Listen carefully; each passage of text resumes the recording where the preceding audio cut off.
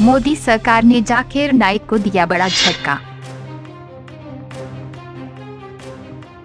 देश से फरार विवादास्पद जाकिर नाइक का पासपोर्ट रद्द कर कर दिया गया। जाकिर नाइक ने जनवरी 2016 में अपने पासपोर्ट का नवीनीकरण कराया था। उसकी वैधता 10 वर्षों के लिए है। वह आतंकियों को धन मुहैया कराने के मामले में वांटेड है। नाइक पर लगे आतंकवाद और मनी लॉन्ड्रिंग के मामलों की एनआईए जाँच कर रही है। बांग्लादेश में पकड़े गए आतंकियों ने दावा किया था कि जिहाद के लिए उन्हें नाइक के भाषणों ने भड़काया। इसके बाद ही वो पिछले साल एक जुलाई को भारत से भाग गया था।